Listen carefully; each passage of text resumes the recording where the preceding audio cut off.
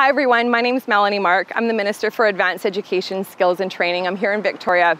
I've just ended a province-wide tour visiting all 25 public post-secondary institutions and it's been an incredible privilege to hear from students, not only telling me about their aspirations, hopes and dreams, but also the concerns on their mind, what they wanted me to know as Minister.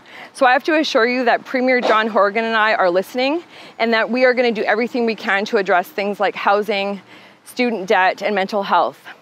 So whether you're just getting started or whether you're taking that big leap to come back to school, I just hope that you reach for the stars, do everything you can to reach for your dreams, and know that people like us are on your side. Have a great day, and I wish you all the best.